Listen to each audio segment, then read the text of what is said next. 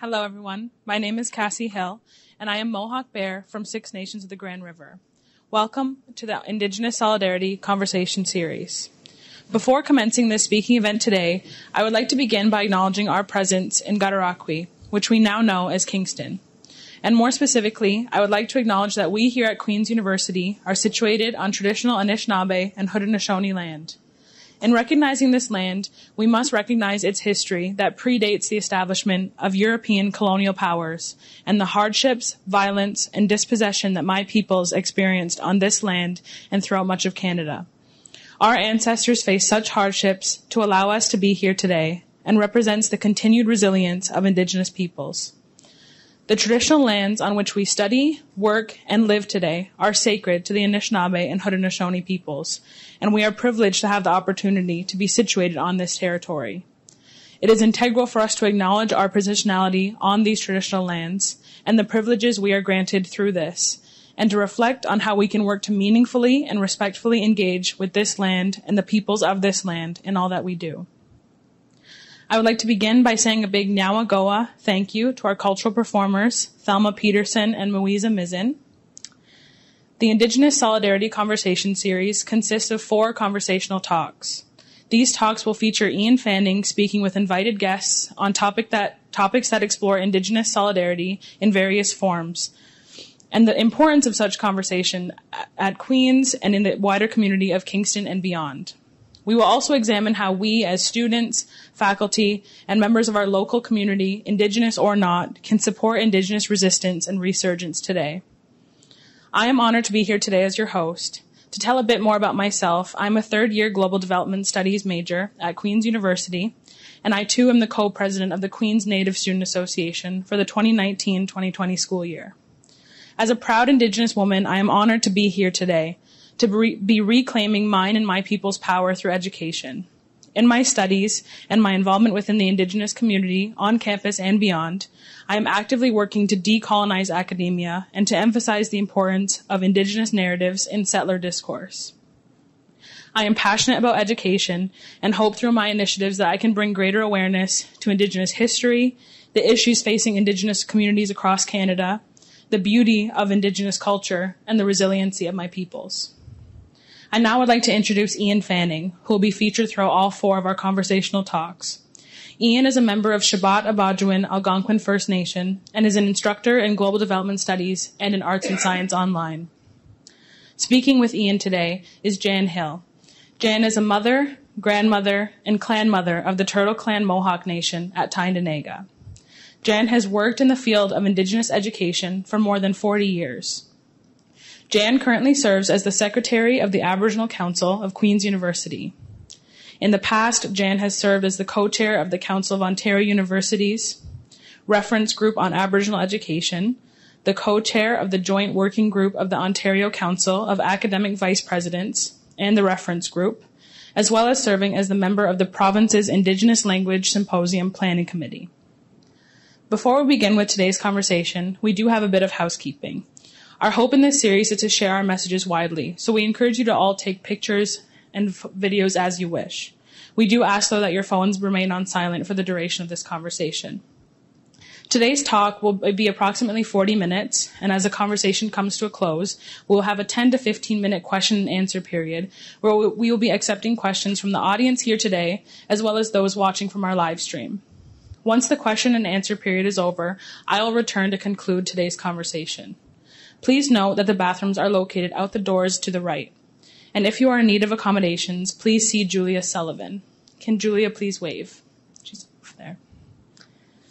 In the spirit of building solidarity and fostering an inclusive environment here on campus, in the broader Kingston community and beyond, we would like to acknowledge student led groups on campus that have in the past and continue to build relationships with the Indigenous community.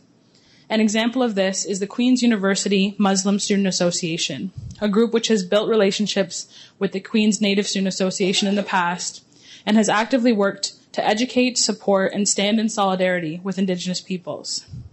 Groups such as QUMSA and other clubs here on campus represent allyship and inclusion at its finest And such relationships are incredibly valuable, not only to the groups involved, but to the ongoing work we all are doing to support Indigenous resistance and resurgence across campus and beyond. The topics addressed throughout this speaker series are brought forth to raise awareness and to promote Indigenous resistance and resurgence. Some topics addressed may be upsetting to some, and because of this, we will be offering a smudge at the end of today's conversation. Smudging involves the burning of our four traditional medicines cedar, sage, sweetgrass, and tobacco, which have been gifted to us by our Mother Earth. We burn this medicine in a shell, and as smoke is produced, we wash ourselves in it.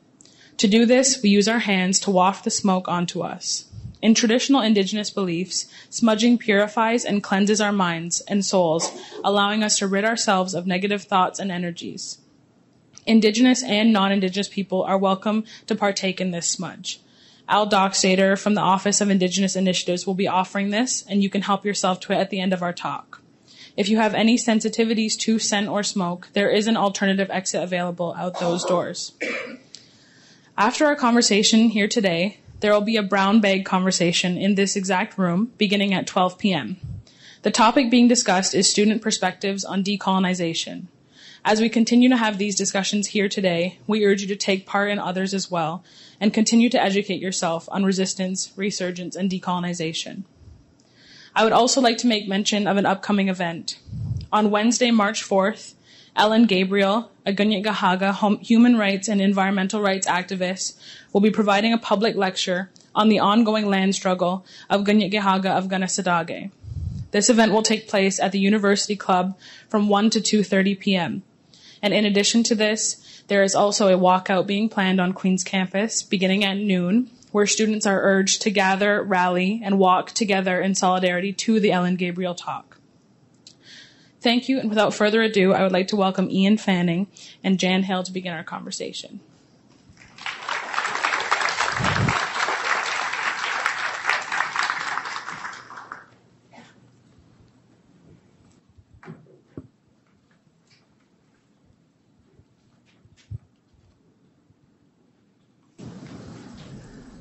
Well, uh, thank you, Kassie, for that wonderful introduction. And uh, everybody hear me okay?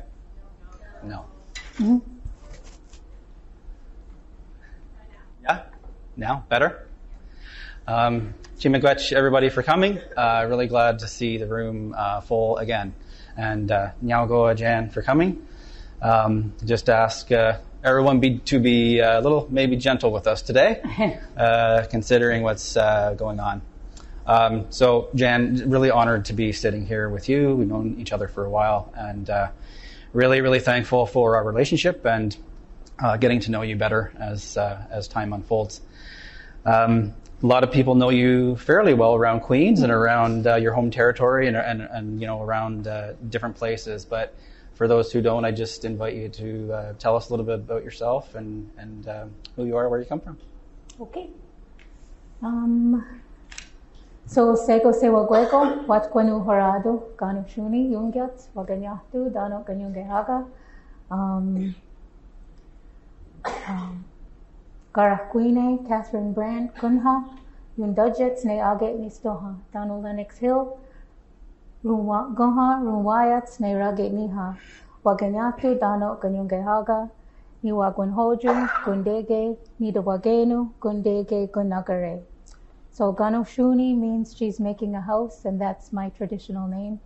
It was given to me by a clan mother in consultation with my sisters. It's very meaningful to me because it's really been the work of my life, and that's the intent of our names, our traditional names, is to help provide guidance for us in our lives. So I've built many houses, or I'm in the process of building many houses one of the things I always say is the house that I pay the least amount of attention to, that's probably the most important, is this house. Because mm-hmm. without this house, I can't do anything else.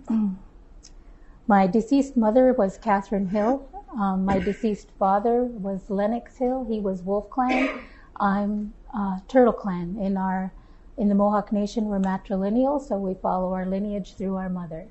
So I'm turtle because my mother was, and her mother was, and her mother was, and so on.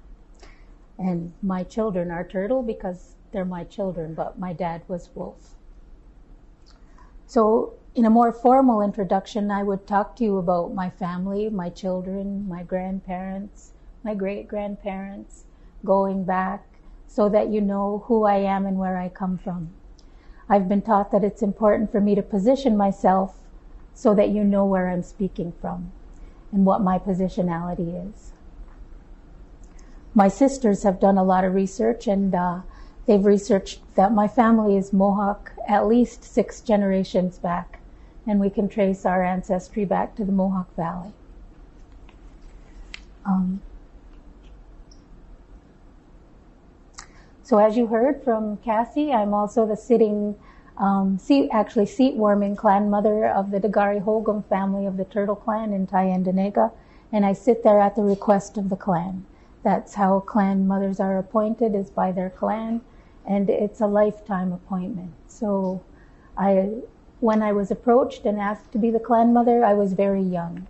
It's usually something reserved for women who are much older, who've already finished raising their families, and who um, are free to do the work of the people. But because of the situation that all of our communities are in, there weren't a lot of women with that, those qualifications at the time we were looking for a clan mother. And so um, I was only 29 years old and uh, I was a single mom and but I was asked to hold the seat because I carried more knowledge than a lot of other people did. I agreed to hold the seat until somebody came along who was more qualified because I don't speak the language. And for me, I think you need to speak the language to really do this job well. So um, that's that's still part of my learning plan is to learn the language, but it's been like over 30 years now. um, so also here at Queens, I'm the Associate Vice Principal, Indigenous Initiatives and Reconciliation and that's a position I've held here since November 2018. Prior to that, I was the director of Indigenous Initiatives for a year. And prior to that, I was the director of the Four Directions Indigenous Student Center for seven years. and I've held various positions here at Queen's since 1988. I left for 10 years but to do work in my home community, but then I came back in 2010. Um, I better, I, as you heard, I'm a mom, I'm a grandma, I'm an auntie, I'm a sister, all those things. I'm also a learner. I'm doing a master's degree here, so, because you know, got all kinds of spare time. yeah, yeah. Maybe we could talk uh, later in the talk, maybe if we have time, about your work because it's it's really interesting what you're what you're working on. Okay. Yeah. Um, so you, you filled us in a little bit about what you do here at Queen's, but I know you've had a lot of involvement in Indigenous solidarity generally here at the university and at outside as well. I know you have, you know, you have sort of a whole another life outside of Queens, and uh, I know you've uh, you had a really important role or roles at, at First Nations Technical Institute uh, on your territory. Um, I'm wondering if you can tell us a little bit about your work in Indigenous solidarity generally here at Queens, but outside of Queens as well. Okay, well, um, I grew up in Tyendinaga, so I was really naive and led a pretty sheltered life until I was about 19. And I left to go, uni- go to university and I went to Trent. So Trent was a wonderful place to go and become educated about the world and to learn about the situation of Indigenous people. And it was during my time there that my eyes were opened and my awake, I say my awakening happened. I became more aware of the oppression of indigenous people and the plight of colonization and government policy and all those all those things, you know, all the things that affect our lives as indigenous people. So I really became active at that time and some would say unfortunately my academics suffered a little bit because I became very involved politically and socially at that time because of my own awakening. Um, so that started in about 1978, just a few years ago. you, you, don't even know about 1978, most of you. um, yeah, and a lot of things were happening to us as Indigenous students at the time, like um, there were a lot of protests happening against pers- proposed cuts to post-secondary education funding. People were still reacting to the white paper. Um, there were ongoing talks with people at, uh, at then, it, then it was the National Indian Brotherhood, which became the um, Assembly of First Nations. So there was a lot of involvement in, across the province and apro- across the country with Indigenous youth at that time, and uh, we worked with different organizations, Native Women, but also Ontario Native Counseling Association, a lot of the people who were holding up Indigenous students and supporting us in our fight for our rights. And so that was really the beginning for me. Um, one of the things that uh, I also came to learn when I was away at school was about our culture and history as Kanien'kehá:ka, because I grew up as a Christian. I grew up in the Anglican Church, and in my community at that time we didn't have a longhouse, and we didn't have a lot of people who knew about the culture and the traditions. We had speakers though, which is one good thing. Unfortunately, now we don't. Um, we don't have any mother tongue speakers left in Tyendinaga, although we have a growing community of second language speakers, and we have a huge, uh, we have an organization and a really strong community dedicated to the revitalization of our language in our community. And that really has been my life work, is to hold up the language and the culture and the traditions. Because I didn't learn those things as a child and growing up, um, and when I did start learning those things, that's where I drew my strength. So then it became my goal to make sure that those opportunities were available for young people coming behind me, that they wouldn't have to wait until they were already grown up to learn those things. So um, it took me a really long time to finish my undergrad, like 12 years, because I took a time out. I went and worked and I was involved in solidarity work. So as you said, it's been an, it's really been my life. Um, and most of it's been around language and culture, but uh, um, it's been engagement with all of the struggles you mentioned. I know in the write up for these solidarity talks about all the struggles that our peace, peoples have faced over time, and at, at one point or another, in some way, shape, or form, I've been involved with many of those things. Um, uh, I worked with the Métis um, and non-status Indians in Saskatchewan for several years, and I actually learned a great deal from them. They were amazing at organizing and engaging with government and lobbying and advocacy work. So my work with them was really um, in, instrumental in my development, I think.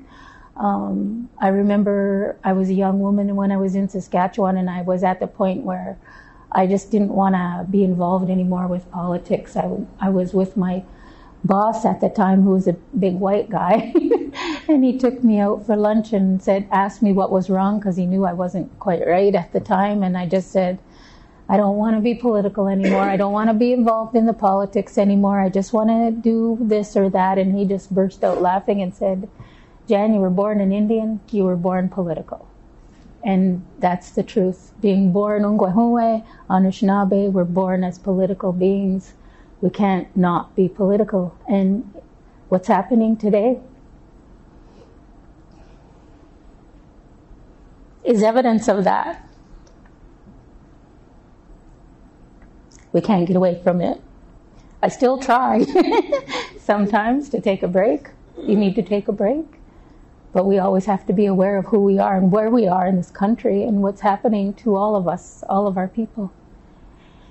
And be mindful of our roles and our responsibilities within our family, within our clan, within our nation, and within the broader world.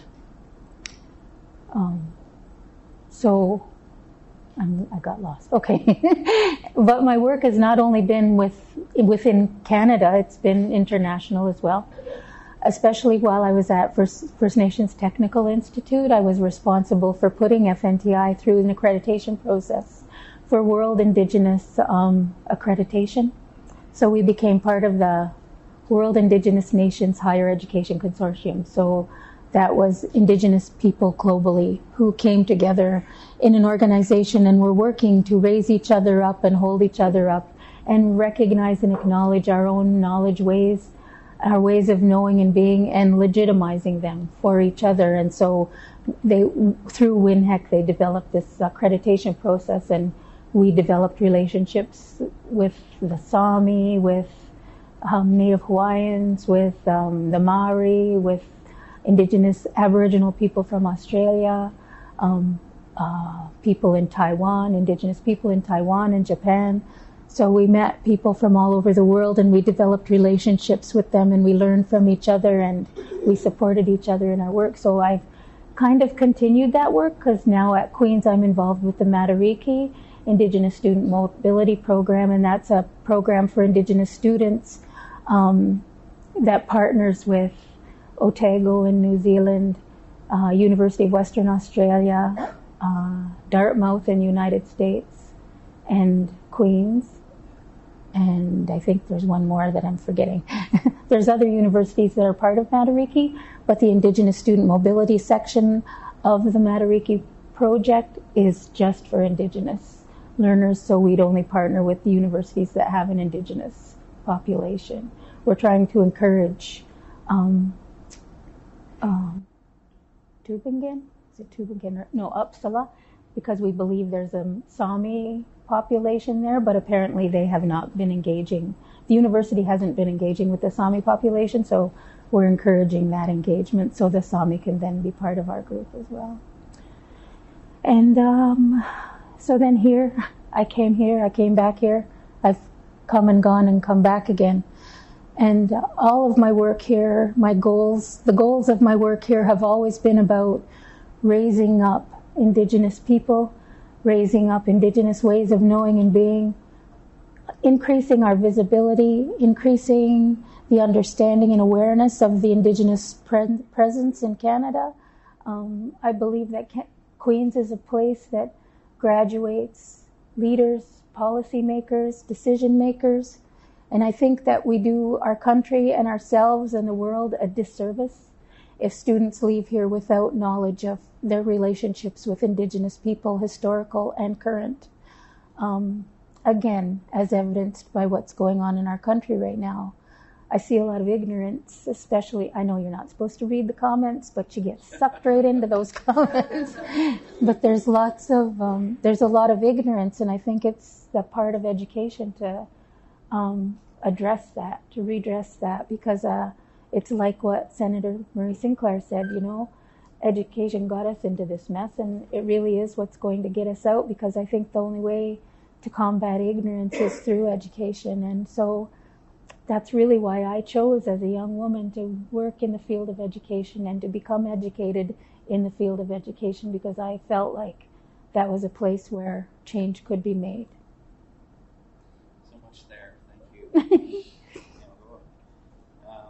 you talked about your goals a little bit, and I wonder. Um, you, you, touched on it near the end of your answer uh, as as a young woman. Uh, I wonder if, um, from the perspective uh, specifically as as an Indigenous woman, as a Mohawk woman, and I'm thinking a little bit about your grad work actually. Mm-hmm. Um, sort of how how does your identity as a Mohawk woman inform your goals and inform your academic work? Um, being Mohawk, being a Mohawk woman, informs everything I do. Mm-hmm. It's who I am. It's the foundation of who I am. I'm a clan mother in the Longhouse. That also informs who I am and what I do, and the way that I relate to people, the way that I build relationships. Our way, the way of the Longhouse, is a way of uh, uh, consensus building and relationship building. And so my work has always been about building relationships um, and working to achieve consensus. Mm-hmm. If anybody has is familiar with any of my working groups or wants to be, you're welcome. if you're not currently, but uh, you'll know that any of the work that's done in any of the working groups that I work with, it's always by consensus. Um, I guess it's important for people to understand consensus too, though, right? Because consensus doesn't necessarily mean that we all agree. In my understanding of consensus, though, what it means is that we all have a voice. We all have an opportunity to say what we need to say. We all have the right to be heard and listened to. And so, in my understanding of consensus building, everyone is encouraged to have a voice. everyone is encouraged to be heard. And but sometimes we have to agree to disagree, and sometimes we have to think of the greater good. And as individuals, we have to make a decision about whether we I need to fight about this thing right now, or whether this really isn't the point right now. The point is this bigger thing that we need to work towards, or we need to work on, or we need to push forward. And for this moment in time, I'm willing to set this aside for the greater good, and so that we can move that forward. Mm-hmm. As a clan mother, uh, I was taught once by an, by an old clan mother that as a Mohawk woman and a clan mother, everything inside this circle is my responsibility. What she said was everything from birth to death is the responsibility of the women. And so, in my understanding of our world, everything inside of our communities is the responsibility of the women. Everything on the outside is the responsibility of the men. Not to say that the men don't have responsibilities inside, but that's the women's domain. But the men do help. I mean, we're about equality, um, not about one being more than the other. And there have been people who have understood our matriarchy to be that the women are the boss. Well, we kind of are, but but men have an equal voice in many things, right? So the social fabric of our communities, our our uh, even the uh, food sovereignty, mm-hmm. um, our ceremonies, our children, all of those things are the responsibility of the women. And so um, I decided to do a master's degree a few years ago, more years ago than I'd like to count right now because it's taken me a long time. um, and part of it was because of the work that I do at the university, I wanted to have a better understanding of academ- academia and academic language and how to speak the, the speak and so all of my previous education was in the field of education. And I know if I'd have done a master's of education, I'd have been done three years ago. but I didn't. I chose to go into the field. I went into gender studies. My original intent was to look at the continuity of women's knowledge from the time of our Sky Woman to the present. Mm. Um, but then I started my program and I started my coursework. And my, one of my first courses was my uh, theory course, and it was queer theory. Kind of blew my mind. I was like, I'd never heard of queer theory before. When I was doing my undergrad, there was, we'd only just started having women's studies programs, never, let alone gender studies or queer studies. And I'd always understood queer to be a derogatory term. I know it's not now, it's reclaimed. And so, but I asked permission to use that term. But I took my queer theories course, and my professor was Katherine McKittrick. And if anybody here has an opportunity to teach with, or to learn with Professor McKittrick, I strongly encourage it because she like blew my socks off and really opened up my eyes. And it just so happened that while I was doing that course, it was time to have our. We were in the middle of harvest ceremonies. So I was sitting in the longhouse and I was looking around at who was there and who wasn't there and I knew that there were people in our community who were Two Spirit, who identified as Two Spirit. So I was thinking about where they were sitting and whether they were comfortable where they were mm-hmm. sitting. And I was thinking about the roles they were expected to fulfill and wondering if they were comfortable fulfilling those roles or if they'd rather be doing different work because the longhouse is very gendered as it is right now. It has a women's door, a men's door. We've got women's benches and men's benches. We have a women's fire and a men's fire.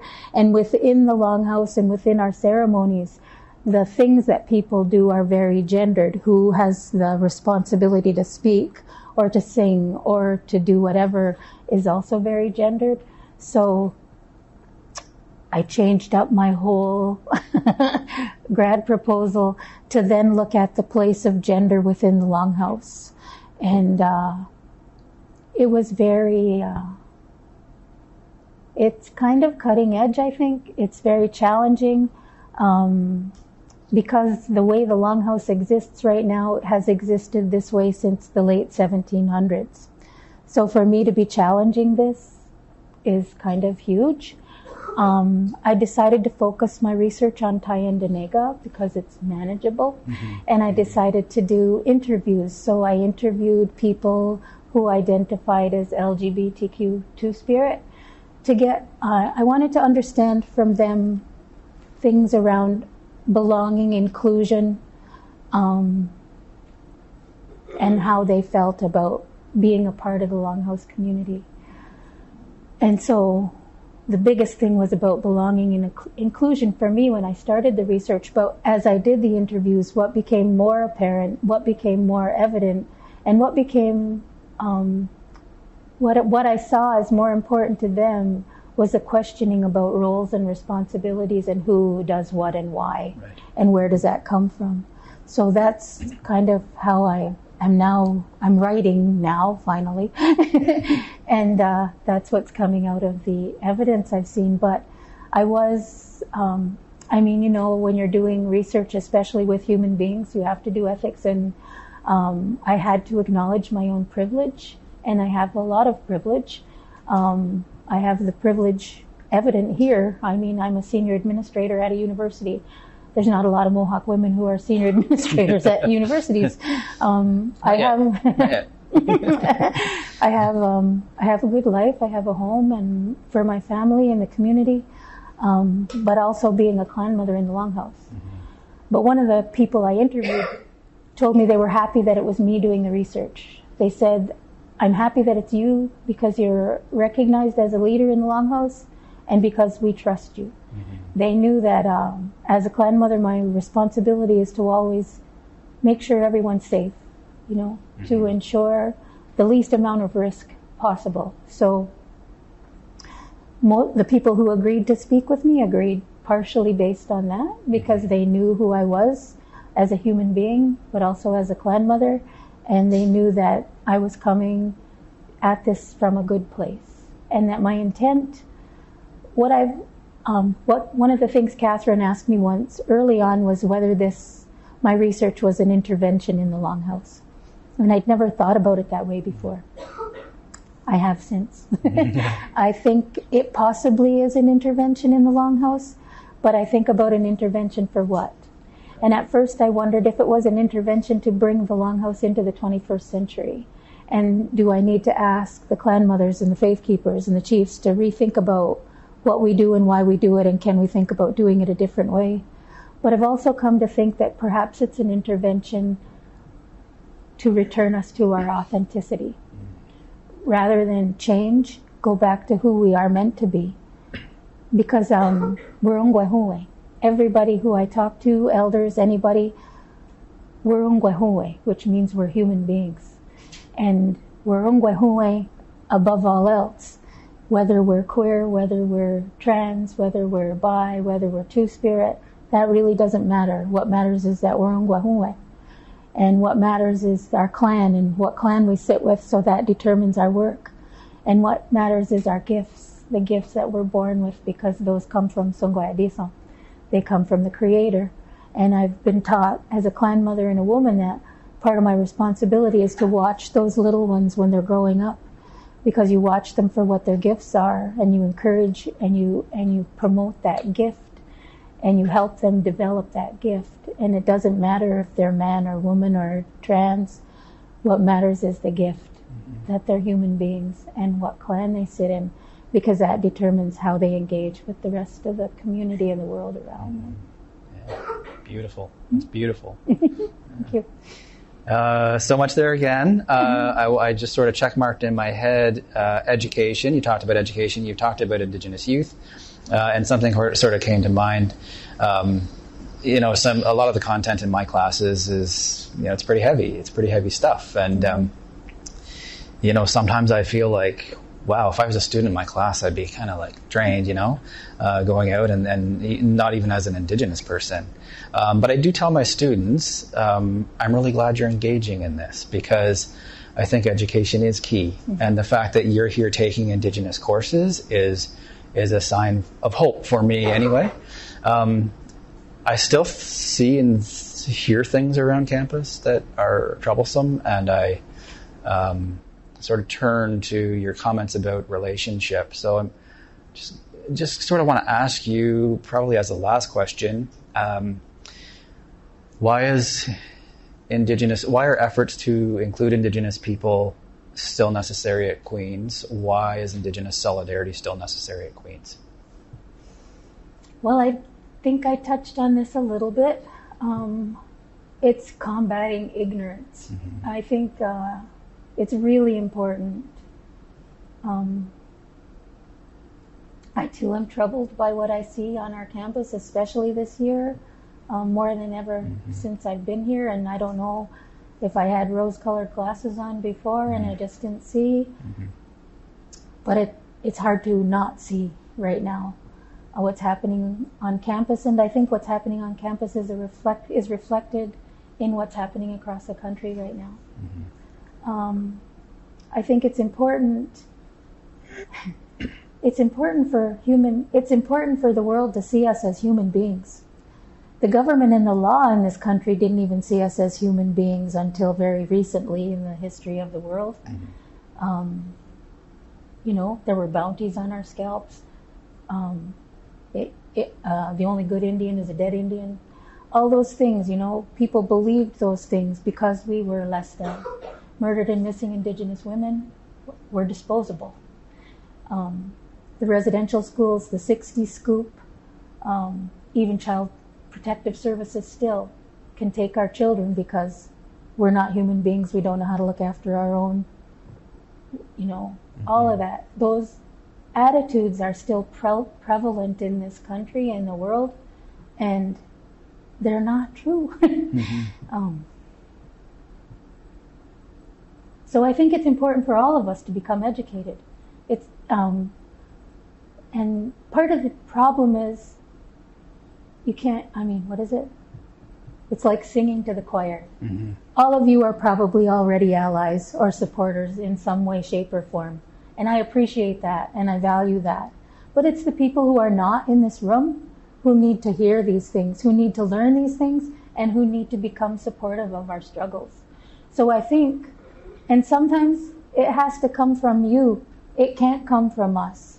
I remember uh, Clearing the Plains. Who wrote that book? Oh, it's not a test. but there was, there was an author who came to talk about his book, and he was a non native scholar who wrote a book about um, Yeah. the starvation policies in the prairies. And he presented to a group there, and he was, uh, he was telling me the story, and he said, over in the corner was a whole bunch of old indigenous women, and he was terrified because of the work he was presenting and the pushback that he might get from them. And when he was done his talk, somebody came and said to him, the women would like to talk to you.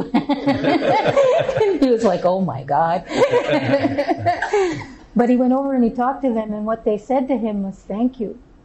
Thank you for writing this book, and thank you for telling this story, and thank you for telling the world about what happened to us. Because people will listen to you because you're a white man. They won't listen to us as Indigenous women, especially, or as Indigenous people. They'll just say, oh, it's just them complaining again. Oh, it's just them whining again. It's just them whatever again. Mhm. And that's what it comes down to, right? It's just us again complaining, whining, Yeah. but it's not. You mm-hmm. know, it's very valid, these things that are happening in our country right now, and it's really important for everybody to be educated on the history of why we are in the position that we're in right now. The true history, you know, not the history you learned in grade three or grade six, because you probably didn't get a very accurate picture, and maybe it was like 20 minutes. So, what are you supposed to learn as a 12 year old in 20 minutes about Indigenous people in Canada? Canada had a golden opportunity on Friday Mhm. to walk their talk. The Prime Minister knew before his press release that the, the GasLink pipeline environmental assessment was denied mm-hmm. and that they were put on a 30 day moratorium. Yep. No work, had to withdraw. That was a golden opportunity to pull out the RCMP and to, to have d- discussions and dialogue with the Wet'suwet'en hereditary chiefs. Mm-hmm. Did they do that? Mm-hmm. no. he had a press conference where he incited more hate. Yeah. Yeah. He incited more hate.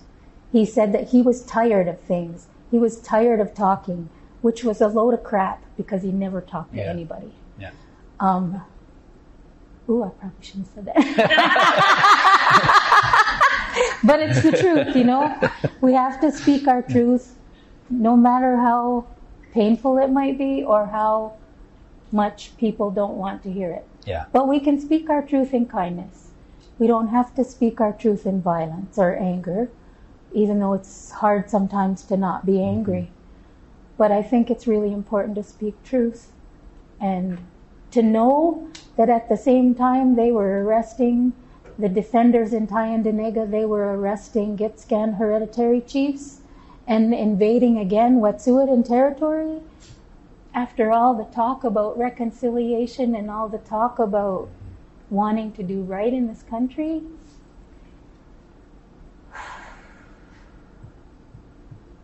it just flabbergasts me. Mm-hmm. I have worked my whole life to try and make things better.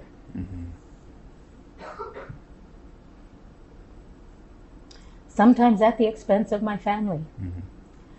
Because when you become a clan mother, you don't belong to yourself anymore.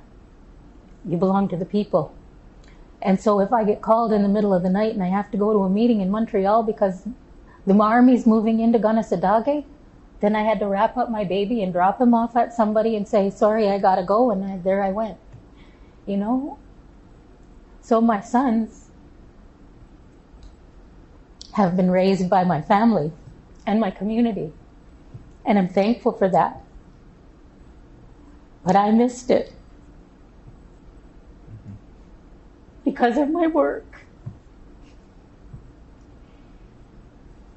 And yesterday I felt like I got slapped in the face. Yeah. No, punched in the stomach. More than slapped in the face. And the hateful reactions of Canada. Um, and they have no understanding. I don't know what else to do. So I call on all of you to step up and do this work, to learn, to become educated, to educate those around you, to support. And if you want to support Indigenous people, to talk to them and ask how they need your support, if they want your support, because that's part of the danger sometimes is we get all zealous and we want to help, and that's Yeah. great. Yeah. But don't know when to stand up and step back and know when not to take up space that rightfully belongs to Indigenous people and make that space for that to happen. Yeah, go Jan. Uh, I think it's time to open up uh, a few que- for a few questions uh, for Jan. Don't be shy. Don't be shy. you can ask me anything, really. Oh, I made everybody sad now. Sorry. There's Got a question over there. Over here, Kettles.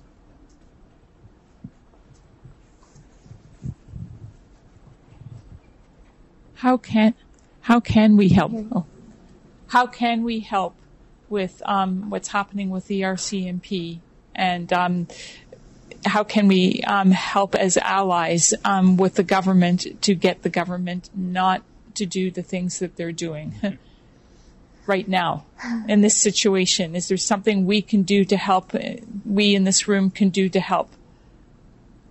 So the question is, how can people in this room help with the situation right now?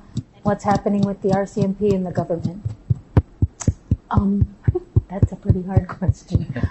Um, I think I think it comes down to what I said earlier. It's about raising awareness. It's about standing in solidarity. It's about standing in support. Um, I never encourage anyone to put themselves in harm's way.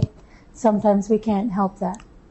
My sons went out to the demonstration last night, and the last thing I always say to them is, you know, be safe, you know, and they both said, we know, Mom, we're there in peace. We're not there to instigate trouble. But if somebody else starts, and my boys are really big. but I think that's an important lesson is that we need, I mean, our teaching as teachings as Onkwehonwe, my teachings as a Kanien'kehá:ka woman is peace, power, and righteousness. Always to approach things with a good mind And so that's what I encourage people is to approach things with a good mind, to do the work in peace, um, to hold your ground in your power. Um, but it's again supporting, standing in solidarity, making your voice be heard, right? Um, I think it's important for non Indigenous people to have their voices be heard, especially as you raise your own awareness and become educated, because again, it can't just come from us.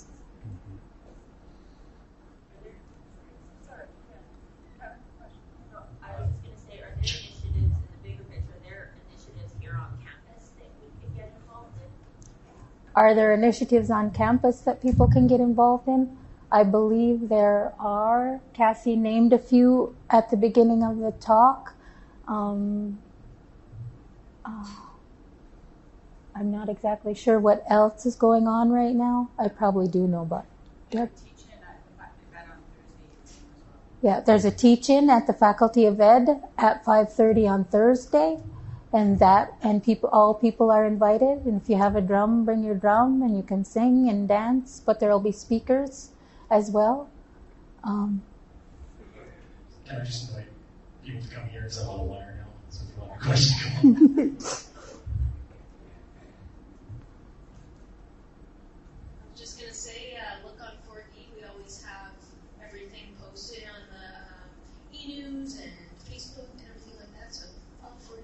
Mm-hmm. I know that there's a fire burning at Four Directions all day today from 10 until 4, 4.30. So people who want to go and burn tobacco or spend some time in community at the fire, people are welcome to do that. Thank you, Jan, and thank you, Ian, um, for this conversation. Um, I wonder, it's, it's wonderful to have you in senior administration.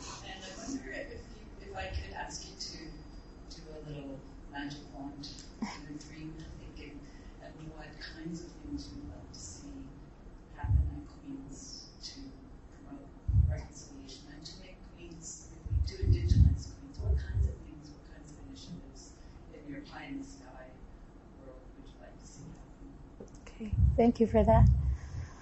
Um, kind of lost all uh, attachment to the word reconciliation right now. um, trying uh, this morning, I was thinking, how can I take that off my title?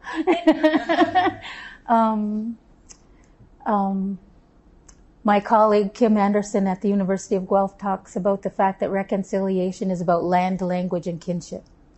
So I think, and my colleague Ellen Gabriel, who will be here next week, talks about the fact that reconciliation requires restitution.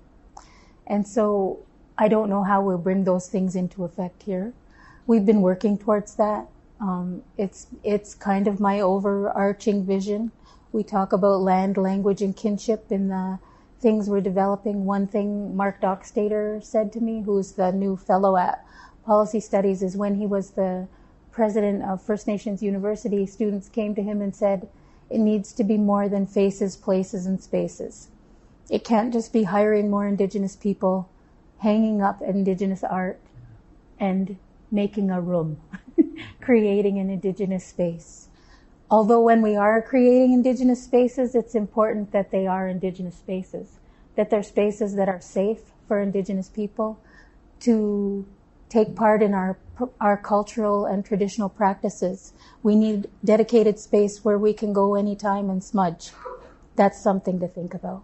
That we don't have to call ahead to health and safety 48 hours and say, I want to have a smudge. Because sometimes, like today, we really need a smudge, like right now. and I don't have time to phone health and safety to get permission to do a smudge. So we need spaces on campus that are safe for that all the time. I think for me, it's also looking at what we do here systemically. It's looking at barriers. What barriers are there that exist full part, that exist that prevent the full participation of indigenous people? And what are the barriers that exist, you know, that hamper our ability to be who we are um, at any time? I am very proud of who I am. I've always been very proud of who I am. I, it breaks my heart to know that there are students and staff and faculty on this campus who don't feel safe to identify who they are because they don't feel this is a, space, a safe community. And I have to tell you this year, I don't think it's a safe community. I think we all need a lot of, to do a lot of work around racism. Mm-hmm. Racism is like huge here. The undercurrent culture in this community blows my mind. I can't believe how hateful some of the stuff is that goes on in this community on this campus. And I can't believe that I'm only just now learning about it. And I've been here for 30 years. And I've asked students, has it always been like this? And they're like, yeah, kind of. but nobody talked about it because of fear, I think, right? So it needs to be safe and we need to combat racism.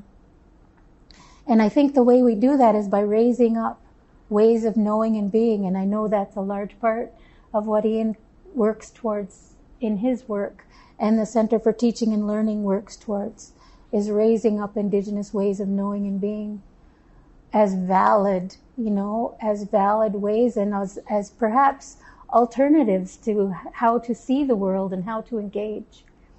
I think it's really important to build relationships across every sector of the university. Um, like Kassie also talked about the relationship with QUMSA and the Muslim students. Those kinds of relationships are really important, especially for other marginalized communities. Um, although there are students I know who have come here whose parents have discouraged them from identifying or from being part of the living, learning, what do I mean? Living and learning community because they didn't want them to become targets. And that's exactly what happened this year. They became targets. And that breaks my heart because I'm so proud of who I am and I want them to be proud of who they are. And I want them to be able to stand up in that and not be attacked. Because no one has the right to attack who I am or where I come from. It's who I am, it's where I come from. If you don't agree with it, fine, that's your business leave me alone then. Go do your own thing. don't be violent, you know? Don't don't be hateful. Yeah. I just think we need to do a lot of work around building a better, safe, inclusive community. Yeah, go ahead, Jan. Um, uh, we're uh, out of time. Um, thanks everybody for coming. Uh, I want to uh, just personally thank the Tyendinaga land defenders and uh, just to go off uh, some of Jan's comments um, about how to support. Um, you know, I, have spent a very limited amount of time over there, but maybe consider going over and talking to them, getting to know them a little bit. Uh, those uh, people on the front lines are, are putting their bodies at risk and, and they're doing the hard work and uh, having a conversation with them, getting to know them a little bit and uh, what they've been through and uh, and the, um, the, the resiliency required to stand uh, strong on on the protest line. So I'd like to thank them personally. I just would like to make one comment, and that is that uh, they are defenders, but there never was a blockade. Mm-hmm. I, I, hate that they've been using that word in the media, blockade, because there never was a blockade ever in Tyendinaga. there were camps set up beside the tracks, but they never blocked the tracks. Mm-hmm. And so I think it's important that people understand that, you know, and they actually were back, you know, those things that come down, they were behind those things, but because of train protocol, I guess, they wouldn't send the trains through because they said the people were too close to the tracks. But there never was a blockade. There never was anything on the tracks. And I, I want people to know that and understand that. Mm-hmm. And um, Christi Belcourt's been there for two weeks. She's been instrumental in helping with media. Um, so if anybody follows her on Twitter or Facebook, she real I've found that she really has the most up to date information so if you want to know what's going on, um, check out her Facebook tweet, t- feed or her Twitter feed. and also Real People Media um, has a lot. Tony of, was whispering it to me, and, and you, you beat her to it. Real People Media has a lot of um, video. If you want to look at their website as well. Great. Now I'll go uh, bottom of my heart, Jan. Thanks. Yeah. Okay, Kassie, can you close us?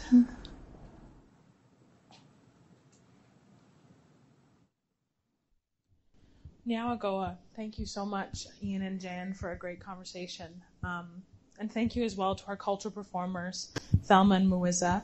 And thank you to Al Dockstader for providing us with the smudge. Thank you all for being here today as well and for being a part of this conversation. Thank you for the work you all are doing to further Indigenous solidarity. Um, thank you to all of you here today in Mitchell Hall, and thank you as well those watching online and those listening to CFRC. Your participating in the Indigenous Solidarity Conversation Series is greatly appreciated, and we encourage you to continue educating yourselves. I would also like to acknowledge the Principal's Dream Course and funding provided by the Committee of Equity, Diversity, Inclusion, and Indigeneity, for without these two avenues, this conversation series would not be possible. I had prepared a long speech about Wet'suwet'en, but I think you both really put it eloquently and really expressed um, the need for everybody to stand up right now and get involved. And I know that the Four Directions page is a great source for getting your information, and there's so much um, activity on Facebook right now. That's where a lot of the information comes from. Um, with the the uh, teach-in that's coming up, the Ellen Gabriel talk, the rallies that are organized. There's great ways to get involved on campus, and as you both were saying, going to Tyendinaga and standing with them, um, talking to the defenders, and just educating yourself. And you know, the everything that's going on, the government has really showed their true colors. Um, it's evident that the companies are prioritizing profit over li- our lives, over human rights. And this is, of course, an indigenous issue, but it's a human issue. We all, land is some, sacred to all of us. Without land, we don't have life. Without water, we do not have life. So it's something that you have to think of as a universal issue for us all. And for true allyship, you must, we must all stand together. So Indigenous peoples were putting in this work, but it's very difficult for us too. So it is important for everybody, and especially settlers, to use their privilege and to use their voice to stand up, to educate yourself, um, and to condemn the government and the companies that are doing this to Indigenous peoples in Wet'suwet'en and in Tyendinaga. Because we are not protesting, we're defending, and we're not a violent peoples, but they show that that's the only way that they will negotiate is through violence. So, um, please get involved and please educate yourself and continue to stand in solidarity with Wet'suwet'en and with Tyendinaga and everybody else across Turtle Island that has stood up in solidarity. Um, our next speaker series will take place on March 10th and will feature Robin Addis, who will be speaking on becoming a settler ally. Tickets are very, going very quickly and they're available via Eventbrite, so I definitely encourage you to get those tickets, especially with what is going on right now. Again, Nyawagoa, thank you all for today.